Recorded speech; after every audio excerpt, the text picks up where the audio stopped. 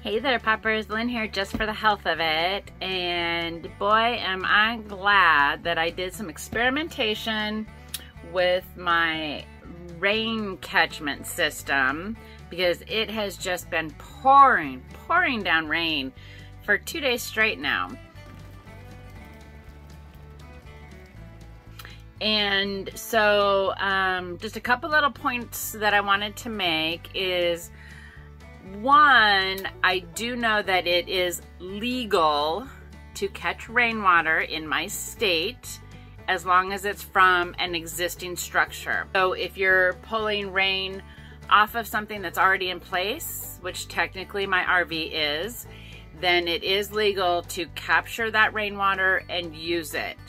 Um, please make sure that you check out your areas and your local laws and restrictions because seems kind of crazy to me, but apparently catching rainwater is illegal still in some places. A couple other little things that I wanted to point out is I did do some research and quite a few different sites, um, government and non-government and educational, and I, even though I have a black potable, only food used, food grade 55 gallon barrel um, because I have so much pollen and it's just kind of impossible for me to really keep the system completely sealed.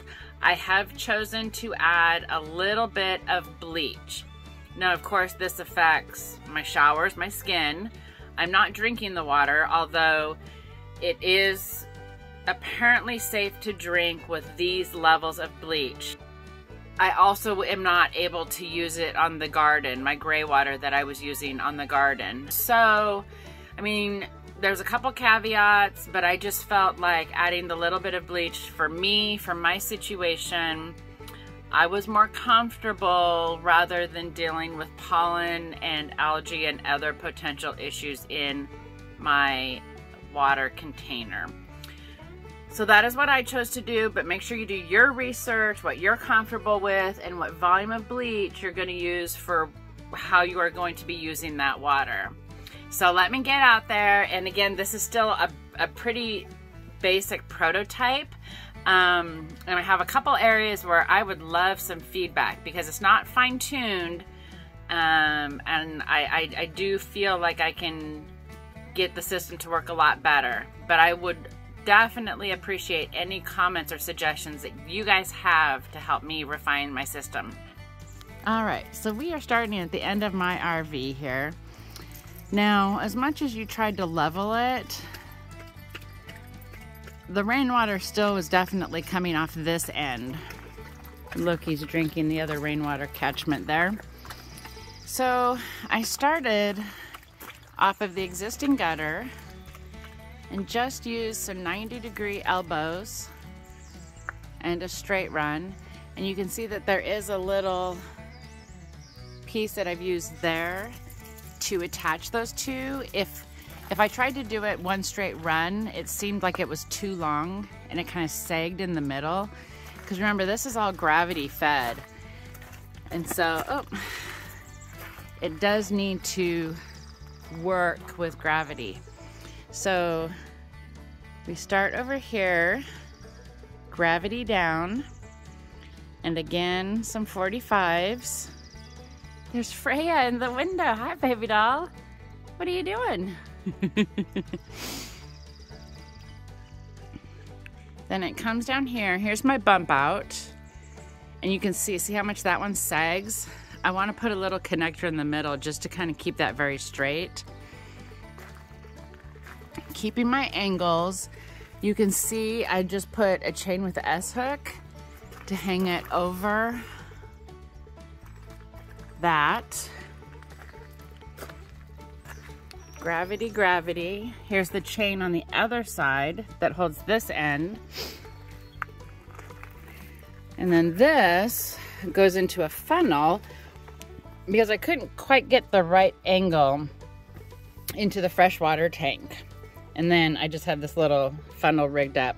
And there is, it's kind of hard to see, but see this black piece on the inside of the plastic, there's actually a very fine meshed screen filter that I put in there. Because again, this isn't obviously a completely closed system, um, but I am filtering water as it goes into there before it goes into my tank. And because you can flush your freshwater tank with bleach water, and it's actually recommended to do that, I did make sure that I put a little bit, again, using the recommendations from my research, but you do what you're comfortable with. I did put a small amount of bleach um, into my freshwater holding tank. So I can go straight into my freshwater tank here but I also can take this and put it right into my 55 gallon tote here, which it is completely full right now. Um, the If I put a hose on that, even though it's lower than this, the pressure, I will be able to gravity feed about a third of it into my tank. But this guy is completely, completely full. Uh, this is one thing that I did not like, which, man, please help me think of a way because this has a, a lip. When I open this up to put my pipe in, I'm getting, you can see the pollen and the tree debris. I want to keep as much of that, of course, out of there as possible. So suggestions on like if there's a different lid or how I could rig this up so that when this PVC goes in there, I'm not having this situation, which then of course fills into my tank. And also, if there's a better option here, of course, now mind you, this is all stuff I literally had on site. Hamboki buns. Like I did not buy or go get anything. These are all pieces that I had here for other various projects. So, I mean, it's rained so much, we were able to fill our 55 gallon tote. Hey, bug. We filled that in about a 24 hour period. And so, because that was full, I went ahead and put it into my fresh tank. Normally, I kind of like it to go through here so that I know at least most of my sediment is going to the bottom. But, you know, it is what it is. Um, and again, I am only using this for shower and washing dishes. I am not using this for drinking. Oh, Bugabooski Buns, you're so cute. So again, I am only using this for showering and like washing dishes. I am not using this for drinking or cooking in any way. Um, I do have a water delivery service, so that is where we are getting our truly, truly fresh water. Although technically this is drinkable water, um, it's just kind of one of those, it's, it's, my comfort level is the delivery service is pretty easy and cheap. They bring it right to me. And so I would rather just use this for showering and washing dishes. Freya, under our beautiful rain catchment system. Isn't that right, Boki? You can see here's our drinking water. Right, Bug? All right. Well, make sure that you do research for your state and um, your laws and regulations and then just kind of you know look around and see what you already have on site or on hand. And like i said this is all stuff that was here. I didn't buy anything. Um, i am very happy with the system. So i'm probably going to go and get actually maybe some glue.